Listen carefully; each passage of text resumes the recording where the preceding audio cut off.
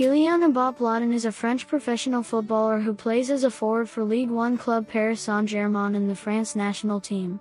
Considered one of the best players in the world, and reportedly the highest paid, Mbappé is renowned for his dribbling abilities, exceptional speed, and finishing. Mbappé was born in Paris and was raised in Bondy, Seine-Saint-Denis, a commune 10.9 kilometers from the center of Paris. His father, Wilfried, is originally from Cameroon, and, as well as being Mbappe's agent, is a football coach, while his mother, Faiza Lamari, is of Algerian Kabyle origin and is a former handball player.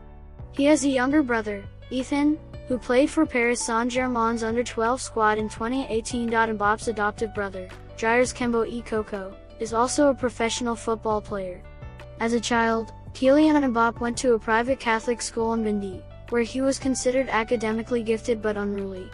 Growing up, his idols were Zinedine Zidane, Ronaldo Nazario, and Cristiano Ronaldo. For some time period in his childhood, he used to have a nanny whose entire family were AC Milan fans from whom Mbappe once received Robinho's number 70 shirt as a gift. However, his favorite team has always been Real Madrid.